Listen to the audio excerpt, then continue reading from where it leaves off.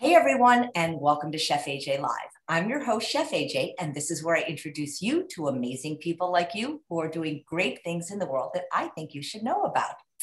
If you watch the show regularly, you know that in June we had Lifestyle Medicine Week, where we featured a week's worth of lifestyle medicine doctors who all were of Indian descent, but living and practicing in the United States.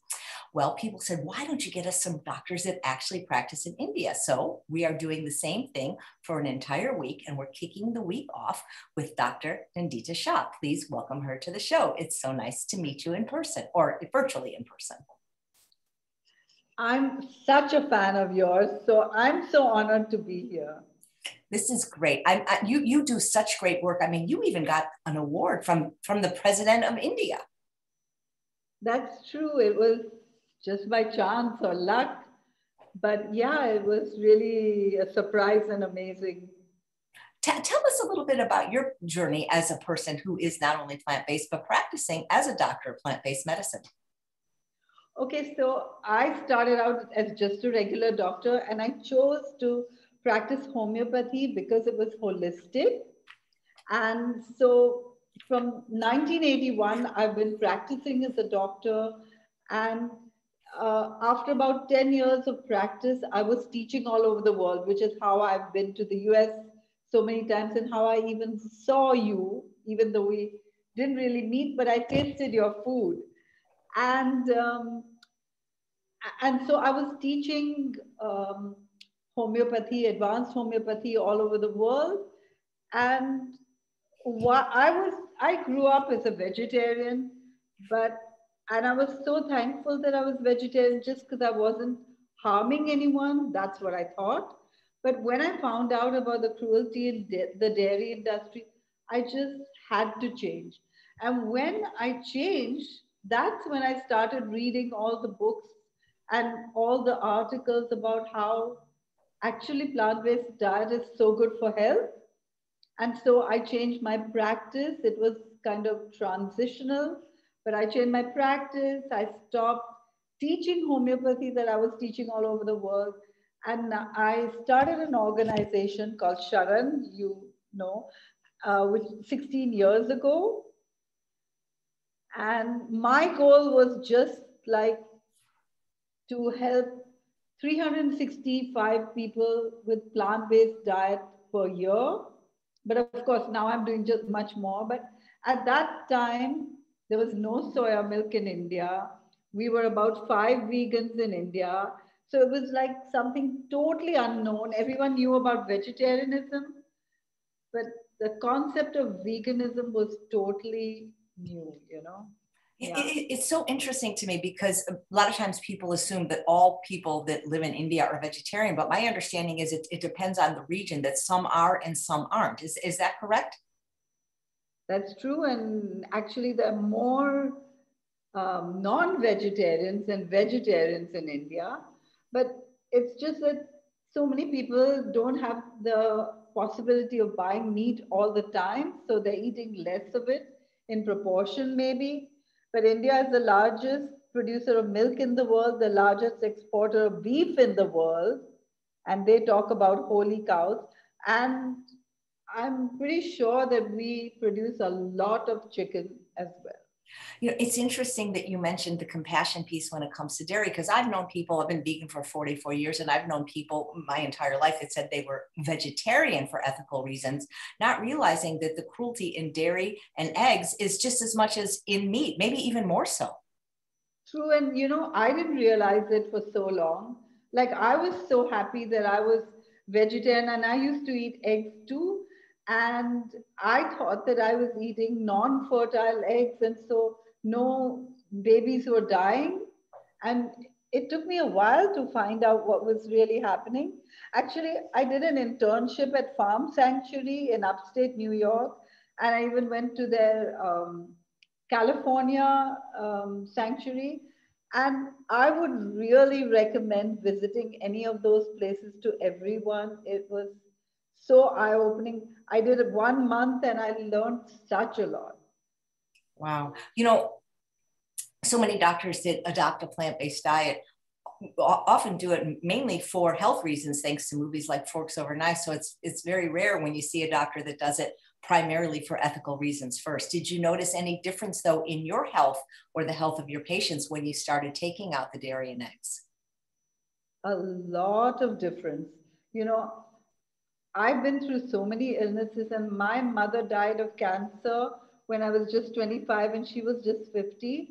And so I realized that disease is a path to personal growth, and uh, I actually had to treat myself the way I treat my patients now. So it was a whole learning process. And um, yeah, I mean, I became vegan for ethical reasons, but I started seeing and even seeing the articles and seeing the changes. And you know, Chef AJ, the biggest change is in the state of mind. And that's what I really like to talk about because so many people have depression and, uh, you know, psychological disturbances. They're not happy and they're not at peace with themselves or with the world. And I think that so much of this, not everything, of course, but so much of this is connected to what we put in our mouths. I believe you a hundred percent. Even things like, that people think of as, you know, benign and maybe not animal products like sugar. I mean, I was a sugar addict for 43 years and it, people that knew me when I was younger say, boy, you're so calm now. And it's like, yeah, because I'm off the drugs, meaning sugar and caffeine. Yeah, yeah, yeah, sure. And you know, uh, when we're stressed, we produce adrenaline. When animals are stressed, they produce adrenaline. And so when we consume foods from animals, we are consuming their adrenaline. And I have to tell you that I've never felt at peace the way I do now as a child or as a young adult. And I know it's changing my diet. I'm also helping a lot of people who have depression and other psychological problems. Great. Well, did you want to share your slides at this point? Sure. Thank you. And then uh, we have a mutual friend, Sharon, at, who's actually submitted several questions for you when you have a chance to uh, oh. answer them because she is a big, big fan of yours. Well, it's both ways. I really appreciate all that she does. And so, yeah, that's that's just a wonderful. Okay, so here are my slides. And make, yeah, perfect. And, and what I want to talk to you about today is making the connection between um, what happens to the animals and why we are plant-based brought me to my spiritual purpose. And my goal is that everyone really understands and achieves their spiritual purpose because, you know, we're on this planet to do all kinds of things, but if we don't reach our spiritual purpose, nobody's happy, you know? We are all here for a specific purpose, and that's not just going out to restaurants or going to movies, but it's to achieve something in life. And I never knew what my spiritual purpose was, but making this connection brought me to my spiritual purpose. So I just want to say a little bit about Sharan. Sharan is an acronym for Sanctuary for Health and Reconnection to Animals and Nature. And I told you about how I was not well and I had to reconnect to nature in order to get well. So actually, when I'll tell you a little bit about how we think about it in Sharan. But at Sharan, we do various things to help people make the shift in the mindset in order to really get well. And we do programs for health gain, talks, and events and things. And we've been so busy on Zoom all this lockdown. And then we have weight loss programs, and we have a whole team of doctors and nutritionists because my goal has always been to spread this message. Like it changed changed my life so much that uh, I, I've been doing training programs for cooking instructors and doctors and nutritionists for a long time now. And then we have a lot of cooking classes. And, you know, a lot of people think that plant, you know, Indian food is so, so um, special. And so a lot of people think that they'll miss something if they don't use oil or if they follow a whole food plant-based diet. And so we teach people how they can eat almost anything and have it all whole plant-based. And then we do a lot of education because um, it's not just like a whole food plant-based diet can help you regain health, but it can also help the planet and animals. And so we have those sections as well. And then we have something really special, I think, which is our retreats. So we have 21 day health retreats. And the idea of 21 days is that it takes 21 days to change a habit. But also the idea is that, you know, we can do all the lab reports at the beginning. And then we have, you know, cooking classes every day and fabulous buffet meals and lots of fun and talks. And you know, we, we actually have it at a, a center which is on the beach, but we also have hills and we have long nature walks. And that's something very special in India because there's not a lot of nature left in India. And, and then we do all the tests at the end. And during those 21 days, as people get better, we take off medicines. So many times people enter the retreat on, say, 24 medicines and they go out on just four. And that's really something that's life changing. So when they're talking to their pe people at home, they, their friends and relatives also make changes just because they're seeing so many changes. So that's something that I really enjoy, but which has been stopped during the lockdown. And we really hope that we'll start our retreats again in October. So our goal is to build a culture of health. Like I really believe that we live in a culture of disease and it requires a shift in consciousness in order to get into a culture of health. And I'm going to share some of the things that we discussed today, just a few, because I know that Chef AJ, many of your audiences know about these things. So I won't spend too much time. Uh, so all our food is whole food and plant-based, and it's actually based on nature's laws because I'm a homeopath and homeopathy is based on nature's laws. And that's something that I really appreciate about homeopathy. So what I mean about being based on nature's laws is that when I'm thinking about what to eat, I'm also trying to think about what did nature expect human beings to eat. So let me share a bit about this with you. You know, it's really rare to see animals in nature that are obese. So why do why is it only humans, right? Like I went to Africa and there was so much grass, not a single overweight zebra, and so many zebras, but not a single overweight lion. So why are we in that position? And I think it's because we're eating foods that are not natural to us like we're the only species that makes our food less nutritious by refining oil and sugar and white rice and white flour are just empty calories.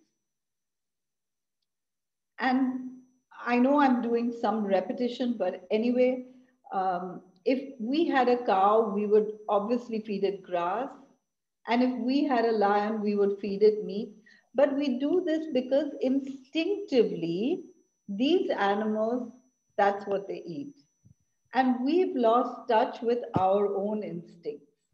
So if we were to put ourselves in touch with our instincts, like if we were on a farm or an orchard and we see fruits and vegetables, instinctively we feel like picking and eating them, don't we? But if you saw a chicken walk by, or a goat, or a cow, would your mouth water? And I'm sure you'll say no, no matter how much meat you eat, you say no because our mouths don't water when we see these animals. And like true carnivores or even omnivores, we can't eat them raw, right? So who would salivate if they saw chicken walk by? And the answer is probably a dog or a fox because a dog or a fox could pounce on the chicken and tear it apart and eat it raw. But we do salivate if we see a dish like this. And that's only because of our conditioning. We've been conditioned. And so we have to unlearn a lot of things. For example, if we see green fields of wheat and rice, our mouths don't water. And we even know that so many people are gluten intolerant because wheat is not really our food. It's basically cow food. So the perfect food for us would be the foods that we could potentially eat raw, right? That we're instinctively attracted to. And just to take it a little further, if you look at the teeth of carnivores and herbivores, and then look at the teeth of true omnivores, and then our own teeth, it's clear that we're not really omnivores. Our teeth are like herbivores, and we are actually frugivores. And I grew up on milk, and I think that, you know, the reason we drink milk is because we think it's healthy. At least I always was interested in health. And so I was always drinking glasses of milk. But that's because when we're young, our mothers run around us with that glass of milk. But actually, milk is the food that every mammal produces only for its young. And we're not calves. And that's why every baby loves their mother's milk, but they don't appreciate cow's milk when it's first given to them. And so these are just a few of the examples of connecting to nature in order to think about what we need to eat. Like Chef AJ, I know your story has something to do with nuts. I know that you know you reduced your nut intake, and um, one of the reasons that nuts aren't our foods is because if you were in nature and if you were under a walnut tree, but you had to open the walnuts with a stone or whatever you found in nature, you wouldn't be eating so many of them. And almonds are more difficult to open and cashews are almost impossible to open with your hands. And pistachios need to be roasted to be open. And so these aren't really our foods, but because we can go and buy everything in a supermarket, we don't recognize this. So our idea is always use the right fuel. Like if you have a car that runs on petrol, there's no point putting diesel in it, even a little bit of diesel. And so if we start putting the right fuel in our body, things will be smooth. So our basic principles are plant-based foods that are suitable for our species. That means less of wheat or rice and more of vegetables and fruits and whole foods, no refined foods, and organic as far as possible because we're the only species that sprays our food with poison so that other animals don't eat it and then we eat it. So that's a little weird. And so we should look for things that have been grown as naturally as possible. And then vitamin B12 and vitamin D, these two, I mean, I always check all my patients and do all the tests. And here in India, we usually find that people have vitamin B12 and D deficiencies because these you know, in our modern day lifestyle, we can't get enough of these vitamins just through food. I do know that in the US, a lot of foods are fortified, and so this might not be a big problem, but it is a problem here in India. And, you know, many people talk about intermittent fasting these days. And the principle behind intermittent fasting, I think, is that if we were living in nature, you couldn't forage for food until it's sunshine until it's dawn and you couldn't, you wouldn't be eating after sunset. So automatically you're eating only a certain number of hours in the day. And, and that's really the basis of intermittent fasting. So if we look at what did nature expect us to do, automatically we'll be there. Does that make sense? Absolutely. So I'm taking I'm taking notes. A lot of everything you say is making great sense. Okay. Okay, great. Okay, so now I'm going to start with the topic that I wanted to speak about, uh, about how making the connection brought me to my life's purpose. And my goal is that, you know, when people are plant based and see the huge uh, difference in their lives from turning plant based, like I saw huge difference in my health and state of mind, then we definitely want to spread it. And my goal was to inspire everyone to do that because so many people are stuck in jobs that they don't really enjoy, but they have fabulous skills that they could use to spread this awareness. So I'm going to tell you a little bit about my story, but we already talked about it already, some of it, and about finding one's purpose and how to be at peace. And we did already discuss some of these things. So me as a child, I was really good at schoolwork, but I had a lot of lack of self-confidence and I felt insecure. And I perceived myself as a victim of circumstances because this was not right or that was not right. And I kind of felt that life was unfair, not just to me, but to others as well, especially in India. You know, there's so many people who are so poor, and I was lucky to be born with a silver spoon, I think. And then I used to, I remember when I was young, I'd be waking up every morning with a kind of fear. And I couldn't say that I had a really happy childhood. But I had a lot of gifts as a child. Sometimes you only see the negative without seeing the positive. I had an amazing, caring family and even an amazing, caring extended family. And a really fabulous school. And my parents were interested in culture. And so I learned dance and so many things. And my families were very open to different points of view. I lived in Montreal for five years from the age of five to 10. And I had the opportunity to travel to different places. And both my parents were intellectuals. My father done a PhD and my mother had done her master's. And, and so actually I had so many gifts and we always had delicious food on the table. That's something I owe to my mother because she, she always thought it was important to cook good and healthy food for us. I remember even when I was young, we always had salads on the table for every meal.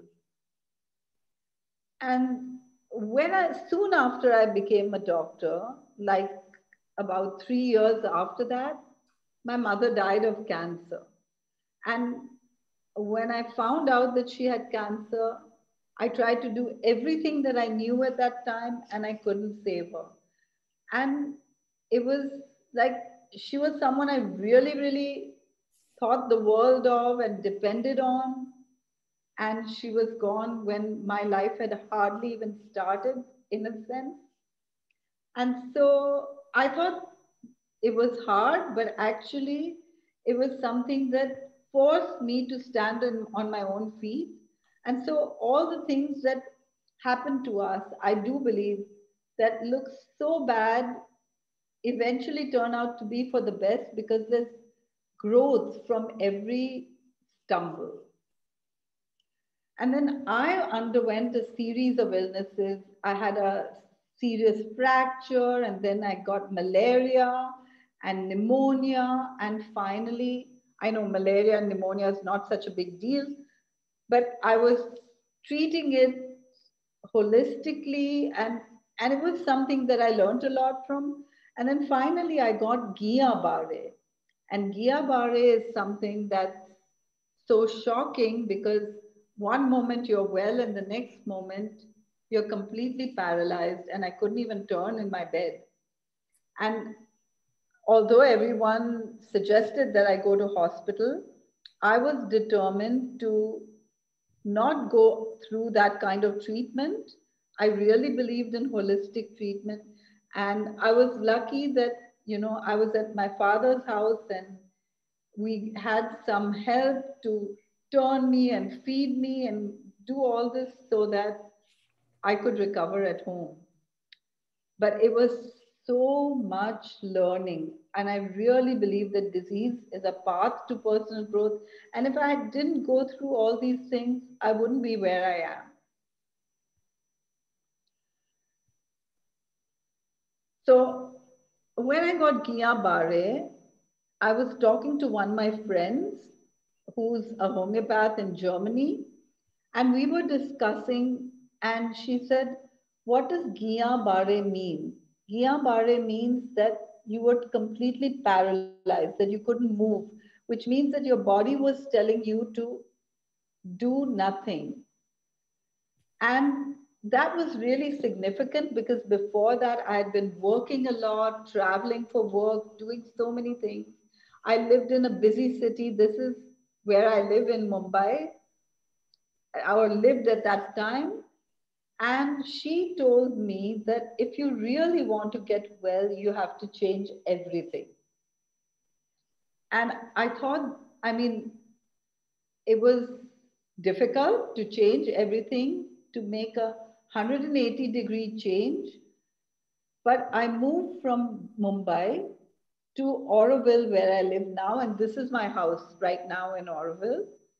So it's totally in nature and and it's really simple and minimalistic and this changed everything too and when i was here i was watching a cat moved in with me the day i moved there and i was watching animals in nature and i started thinking about all the things that now i work with at sharan so this is my house and this is the area where I live.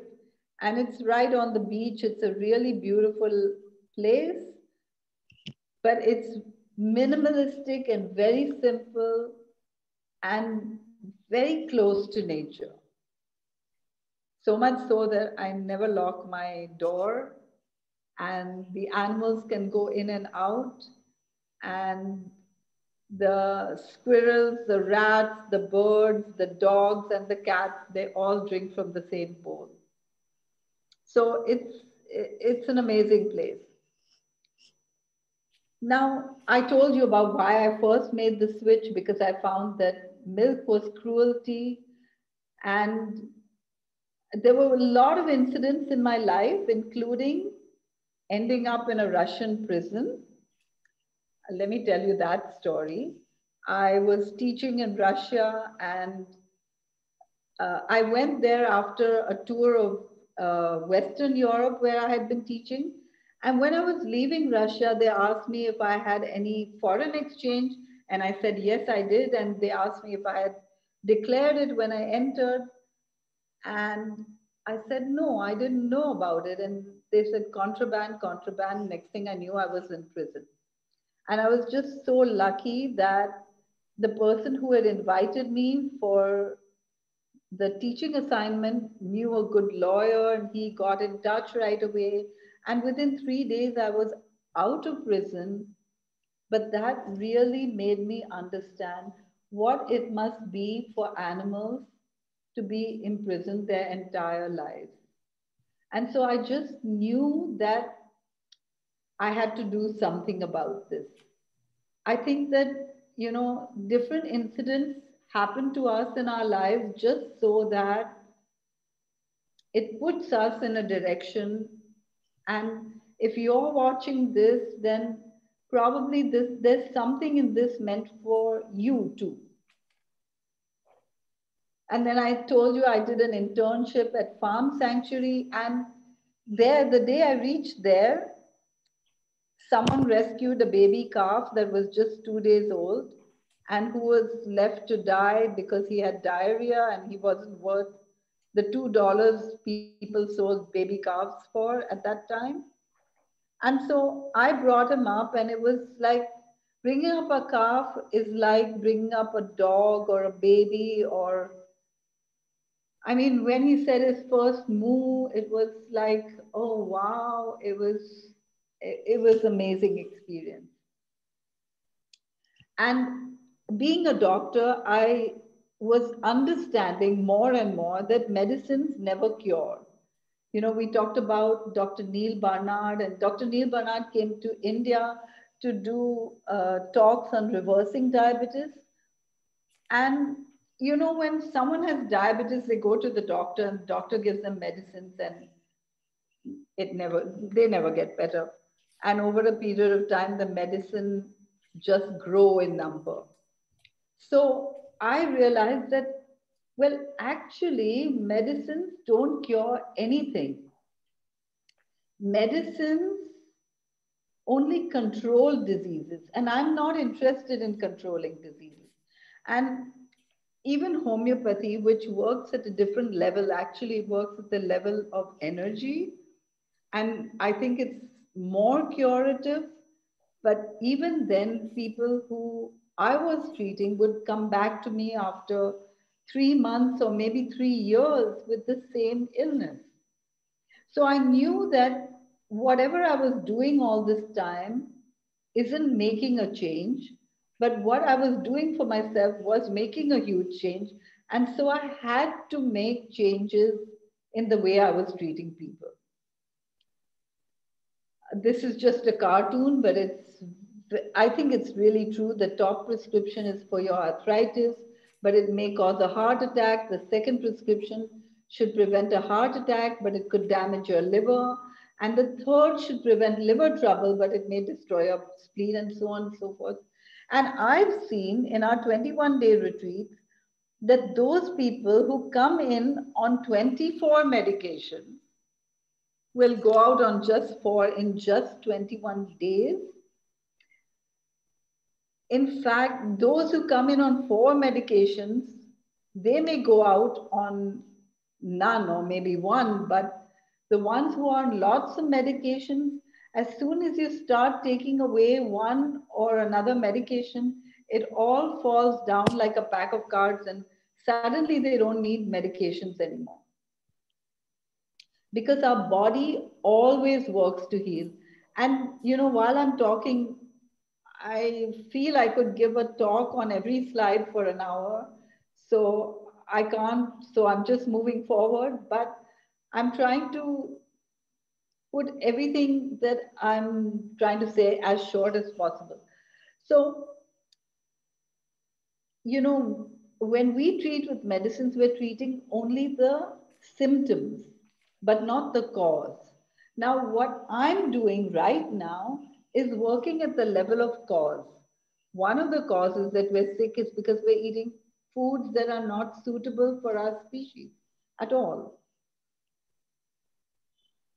And so my work transitioned from homeopathy to nutrition. And now I, I, you know, I used to ask my patients when they came to me that, do you want me to treat you or do you want me to teach you how you can be healthy all your life by yourself? And they didn't know what they were in for, but obviously they said the second. And then I would tell them about how they could change their diet.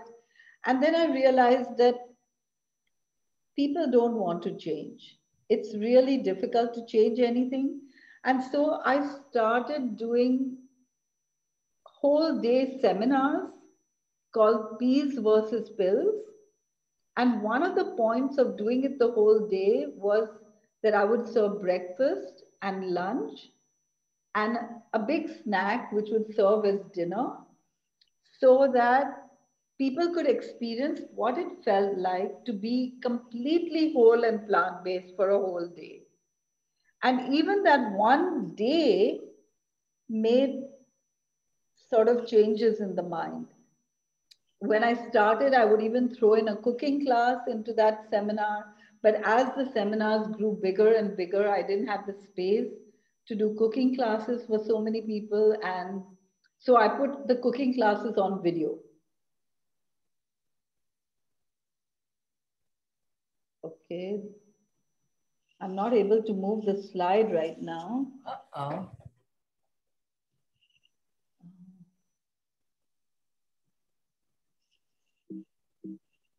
Wish I could help you. okay. I don't know what's happening. Let me try stopping share. Yeah, maybe maybe that's a good idea. Stop screen share and try again. This has been amazing. I've been taking all these notes. Okay, but I'm not able to stop screen share now. Uh, here, I can probably get you okay. out of that. Uh, let's see. Options. Let's see if I can. Let's see if I can kick you out. I'm just kidding. Screen share. Okay, now I'm hearing. Uh, okay, okay. Now something happened. Let me. Oh gosh. Oh. Okay. Okay. Did that help at all? Yes, yes. I think everything's working out now. It's going to work. Sorry. Sorry about that. oh. Okay. It's oh okay. See if you can get your presentation back on. Okay. Okay, there we are. Oh, oh gosh. Ah, okay. So uh, this is a video actually, but I'm not going to show it. Um, this is one of the first um, patients that I actually recorded. And this lady, she had heart disease for three years. And she had just come out of the ICU to my consulting. And she came because she had a prescription one page long and she didn't want to take medicine. And when I met her, I was going to be traveling. And so I told her everything about diet. I gave her Dean Ornish's book on reversing heart disease. And she was a kindergarten school teacher and she was 70 years old. But she read the book from cover to cover, put it in practice. And this video is actually two and a half months after the first interview when she said that she had not only got better, lost weight and everything, but for three years, she could hardly get out of bed. And now she was getting up in the morning uh, at four o'clock, actually, and going for a walk and going to the gym in the evening. This was just two and a half uh, months after being in ICU. And this was in 2005. And this is her in 2013 where I actually had to chase her to get this photograph of her because she went on a light jog every day on the marina of Pondicherry. So, you know, I saw these kind of amazing changes. People who thought that they may not survive were getting well. And I also realized that, you know, when people have one foot in the grave, they're likely to do anything you say and they'll get well. But if people just have a sniffle, they really, they're really resistant to change. And I told you about my experience with um, the change in the state of mind. And so I started asking my own patients about their experiences when they changed to plant-based diet. I learned a lot about that too. But what I learned is that we, we are what we eat. The feelings of the animals are transmitted to us through their hormones that produce these emotions. And so when we eat animal products, we are taking in their insecurity, their forsakenness, their hopelessness and despair, and their fear. And I could relate it to what I felt as a child because I had all these insecurities and things when I was a child. And I can tell you a lot of it has disappeared. I, and I remember once I was traveling to Spain and for a conference and the flights from India to Spain are overnight. So I reached in the morning. I was really hungry. And I reached the conference area, and they had a huge eating area outside with all these little stalls, and there was nothing vegan, absolutely nothing. Even all their salads had cold cuts, and there was just nothing at that time in Spain. And so I ordered French fries because there was nothing else and I wanted to have something vegan. And it came with mayonnaise and ketchup kind of on top.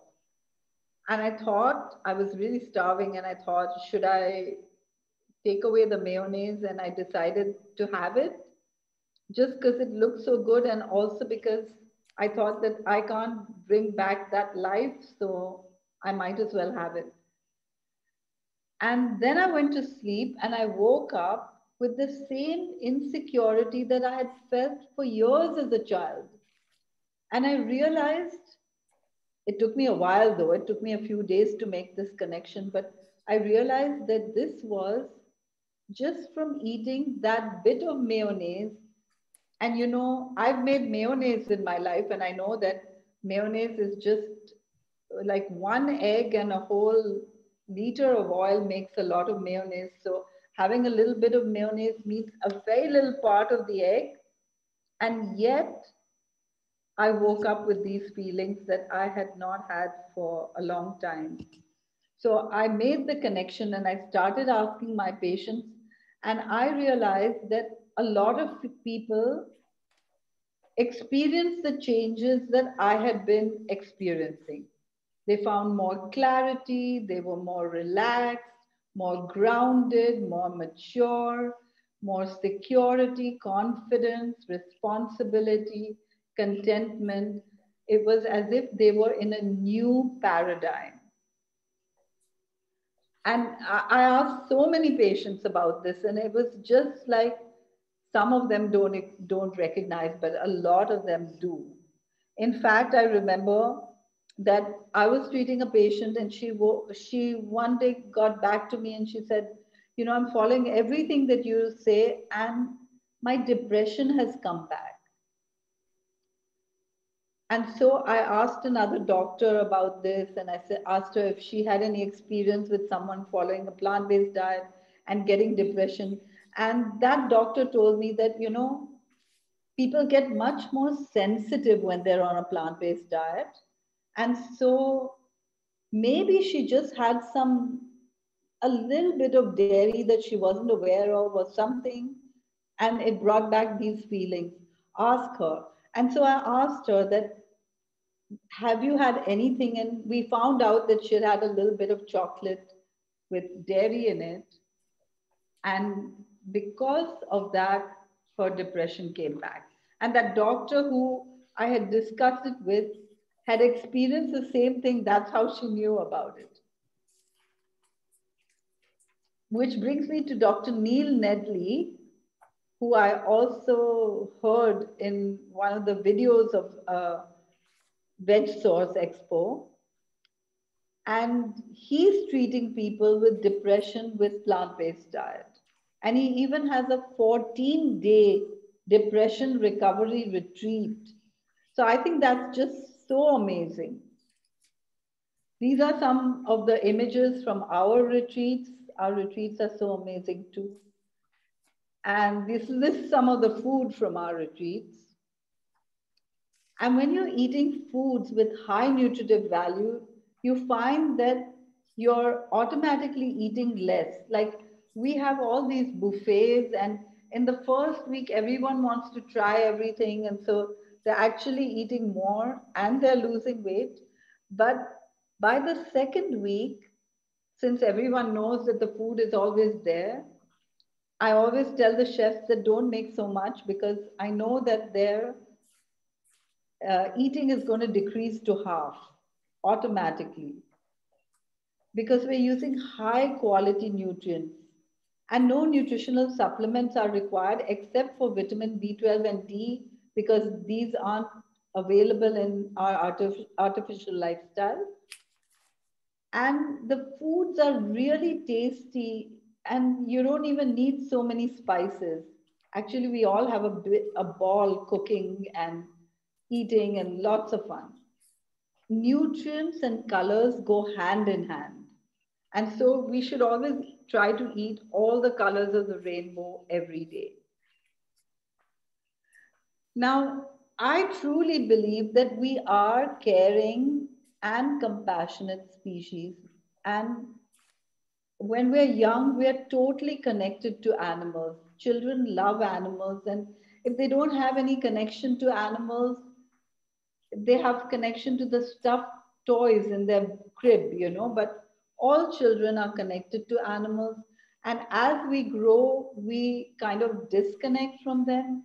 But really, it's just because of our conditioning that, you know, we're forced to disconnect. Otherwise, we just couldn't survive. I live in a, a village now, and I'm seeing cruelty everywhere that people aren't seeing just because of our conditioning. The calves are tied up their entire lives away from their mothers and so on and so forth. So my message is that if you, you know, we are all compassionate beings at heart and if we connect to this, then a lot of things can change we are also always the author of our disease, which also makes us the author of our health. And so it's all in our hands to take charge of our health. And almost any passion can be followed with the skill set we already have. Like I really, really wanted to live on a farm and have a farm sanctuary and look after all these animals but I couldn't for two reasons. Like I didn't have the money. I actually also didn't have the skills and I didn't have the manpower. Like even if I found the money, how would I get all the right people to grow into a farm sanctuary? But I did have the skills of a doctor. And I'm so happy that, you know, I know that I'm changing lives of so many people every day. And this is going to save so many more animals every year and help the environment. And, and so I know that I'm living my purpose, even though I can't do exactly what I want. It makes me happy that I'm doing what it was meant to do. So your work and your passion can actually be one. I'm often working from seven in the morning to, you can see now, but uh, sometimes 11 at night. And I always make it a point to look after myself though. I mean, I always cook my own food and um, things like that. But because I love my work, I can keep doing it this way. And plant-based diet is good for health, environment, animals, everything.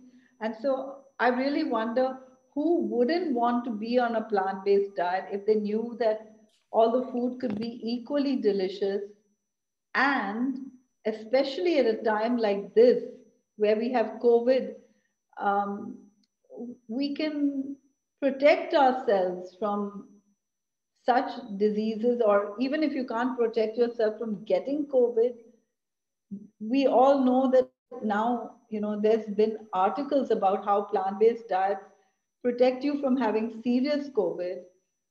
And I've been treating COVID patients all this time through both the lockdowns and, you know, so have other doctors in our organization.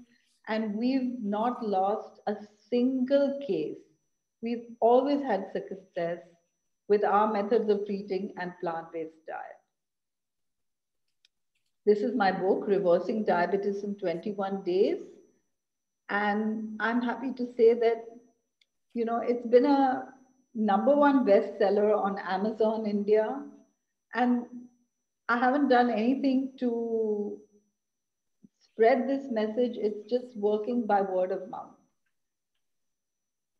so that's really all I want to say. I, I truly believe that everyone has skill sets and you can plug them into anything to help animals, environment, and ultimately we're always helping ourselves. So I'm going to stop my share now and I'm back to you. Great, thank you so much. You know, I took a, about a page worth of notes, and it's interesting what you said about how uh, when you become plant-based, when you become vegan, become more sensitive. When you think about it, the animals that eat other animals, they're the aggressive animals. The herbivores, bunnies, uh, can, you know, they're they're very docile because they're not eating out their animals. I think. Right. Have you noticed this yourself in your own life? Absolutely just just anxiety dialed down and just much more peace of mind. And I, and I think what you say i've heard that from other people that when animals are being slaughtered for food they know it and that, that increases their stress hormones their fear and we're ingesting that into our bodies. Yeah. Yeah. That's so how many years now have you been vegan well, I'm ashamed to say that I wasn't 100% vegan from the time I knew about dairy, which was like uh, mm, around 1980. That's when I knew. And so I left dairy, but I would still eat something that was cooked in butter or ghee or some, you know. And I became 100% vegan about 20 years ago, so it's only 20. Well, that's still pretty darn good, if you ask me. Mm-hmm. Yeah. And, and, and you made the point about how we're the only species that spray our food with poison.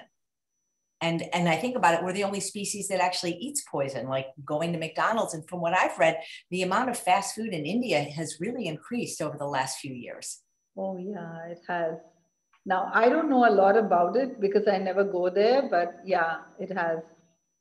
Well, I would imagine the disease rates have probably increased too because of that. Really, and also the spectrum of diseases. Like when I started, I was treating a lot of patients with diabetes and hypertension, but now I'm treating people with cancers and chronic kidney disease almost every day. So, and autoimmune diseases as well. Wow, that's interesting. And I love what you said about nuts because, yes, it's true that, you know, and what people don't realize, yes, you could take a walnut and cr- crush it with a rock, but in nature, that walnut had more over it than just the little brown thing. It was like, they, are like this. I've seen nuts in nature and they're like about the size of a salt. It's like, so how are we eating a half an ounce of nuts at every meal? Our ancestors mm-hmm. couldn't have done that. And I didn't realize how you mentioned certain nuts like almonds and cashews, and probably I'm guessing maybe even Brazil nuts, they can't be opened by humans. Really, not really. Pistachios. Yeah, it's interesting. So thank you for saying that. So I have a few questions from our good friend Sharon. And she said to please ask Dr. Shah if most of the people who died of COVID in India also had comorbidities, and if she thinks that's because the diet is so heavy on dairy and ghee. Okay, so actually, I recently did a whole talk on COVID prevention, treatment, and post-COVID um, therapy. But anyway, here's what I want to say that a lot of the people died of comorbidities, but a lot of the people died of what I consider wrong treatment. And I just will say a few things about this. So, you know, we treat people according to what nature would have expected.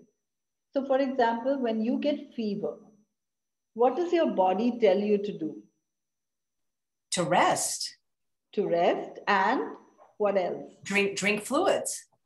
Drink Water. fluid. Okay. And does your body say that it's hungry? No, I don't remember ever really being hungry when I've had a fever. Okay. So our body is telling us not to eat, right? But often family members or parents, so they'll tell you to eat something when you have fever, right? And we know that when you tell a kid to eat, they'll throw up when they have fever because they can't, you know, their body. And the reason our body tells us not to eat is because the body saying, don't do anything uh, uh, don't make me do anything so that I can heal. And the body works to heal. And the body actually raises the temperature when we have any infection so that the contagion cannot multiply. Just like, you know, we boil water to kill the germs.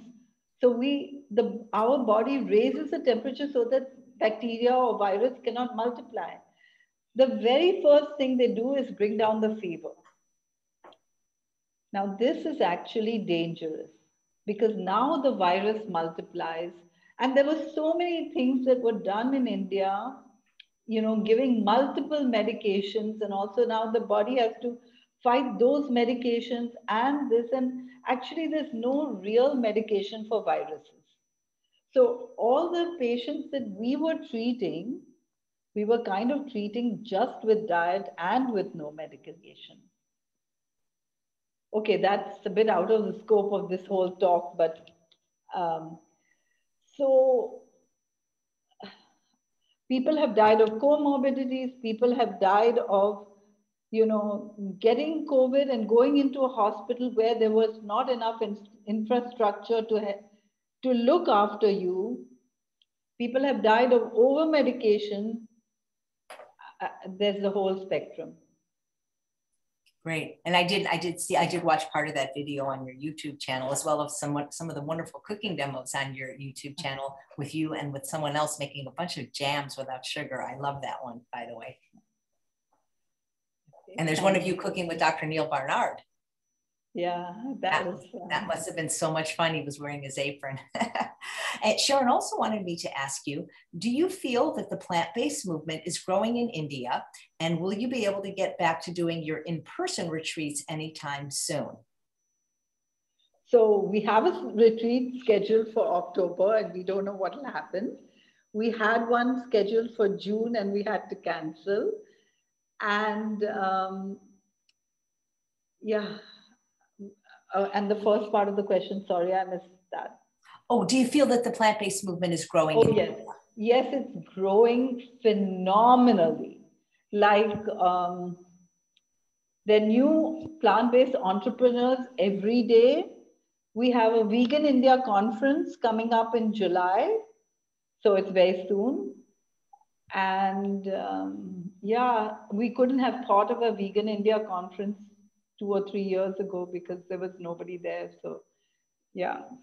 That's it is fantastic. really growing. Yeah. That's fantastic. And it, she has two more questions. What are the most common lifestyle diseases in India? I bet your diabetes is up there. Diabetes, yes, and high blood pressure and heart disease. But now cancers, cancers are just exploding, you know. Can, yeah. Can people get your 21 days to get rid of diabetes book in the United States, or is it only available on? I think it's available on Amazon US, and I'm not sure right now because of the lockdown and if you know parcels aren't coming, but it's available on Kindle, so at least that must be available in the US. That's I fantastic. need to check that one, yeah. And the last question from Sharon is What are your favorite Indian dishes to make now that you are oil free? Oh gosh, that's a hard one. Uh, I don't know how it works with you, Chef AJ, but me, I just go into my kitchen and open the fridge and see what's there. And I'm always buying organic and locally grown stuff. So it changes from season to season. And um, what are my favorite Indian dishes? Oh, it's changing all the time maybe rajma. Rajma is made with kidney beans and tomatoes and spices with, um, and I usually have it with millets or whole grain rice. But you know, to tell you the truth, I'm automatically uh, transitioning into more and more raw. It's happening by itself. So uh, even though I always prepare my own food, I don't use a lot of Yeah. Do you, do you have do you have instant pots in India? Uh, probably it's available and I don't have one. But but but you but, probably have a pressure cooker, right? Yes, yes, yes. What about an air fryer? Is that a tool that's very common or heard of in India? A lot of people have one, and I have a very simple house, so I don't even have an oven in my house. It's that simple, you know. I wow. really, it's a blender and two um, burners, and that's it. Wow. What kind of things do you typically eat for breakfast? I have the same thing every day in different ways, which is a big green smoothie made with fresh green leaves from my garden, bananas, and any other fruit. And right now that's mangoes and jackfruit because we have fabulous sweet jackfruit right now in season and mangoes. Wow, that's fantastic. You know, one of the biggest takeaways for me, which I've known instinctively, but you had a slide that said, medicine never cures. Yeah, it's true. But lifestyle does. Yeah. Great. Well, thank you so much for the work you're doing in India and in the world. And I wish you every success, and I'm I'm so happy to have met you and had you on the show. How can people find out more about you, support your work? I don't know, do you like them to go to YouTube or do you have a social media presence? Where would people find out more about your work? Oh, yeah. So I would say the best place is our website because that's where, you know, we have so many things. We have events and, you know, we even have online programs like an online basic cooking class and a reversing diabetes online program and six weeks online program and and now all our other programs are on Zoom as well. So we have more things with recordings and so on. So I would say our website, but we also have Facebook and Instagram and um, YouTube, of course, YouTube, right? Right. Yeah. yeah. that's where I saw you, your cooking video. Tell me a little bit more about the award you uh, received from the president. What is the award? Who who is or was the president, and how did that come to be? Okay, so there's a special award for women who are doing exceptional work. And they somehow found me. I don't really know how. Um, so I was awarded that, uh, that for uh, pioneering work in health and nutrition. Is it, was it a plaque? Was it a ceremony? How did that transpire? Oh, it was money, like real money. They flew me over there to Delhi and a bunch of other people. I wasn't the only one. So there were about 20 people. Every year they have 20 or some number of people. And so they flew me over there and um, put me up in a hotel. And I was also allowed to take someone with me. And all, you know, they had all these things. We had uh, snacks with the prime minister and we went out for dinner and we did all these things. Yeah and met a lot of amazing people because you know the whole group of people they were all people who were doing amazing things in their own fields. So that was something really amazing. And we're still on the whatsapp group of all those you know that group our year of winners. So that's something really yeah it was something special i guess that sounds incredible. And that's kind of the purpose of my show is to highlight people that are doing incredible things in their field. And mostly are people in the field of plant-based, but still I really, I, that sounds like an amazing experience that you had. Yeah, and I really, I, I think it's so amazing what you do. And I love that video of yours where you take off the clothes that are so big and you. Thank you so much. It's been a pleasure getting to know you a bit more. Thank you, Chef AJ, for inviting me. My pleasure. And thanks all of you for watching another episode of Chef AJ Live. Please come back tomorrow when we have another fabulous guest.